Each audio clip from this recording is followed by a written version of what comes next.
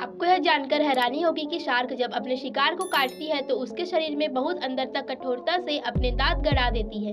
इसलिए उसके बहुत से दांत टूटकर शिकार के शरीर में रह जाते हैं। शार्क अपने जीवन काल में 4000 दांत इसी तरह से निकाल देती है। शार्क के बच्चे के जन्म के समय ही पूरे दांत होते हैं। इस तरह वे जन्म से ही आक्रमक के लिए तैयार हो जाते हैं। मनुष्य केवल अपने नीचे के जबड़े हिला सकता है, लेकिन शार्क अपने ऊपर और नीचे दोनों जबड़े हिला सकता है। इसलिए यह क्षमता इसे अपने दुश्मनों के लिए बेहद घातक बना देती है।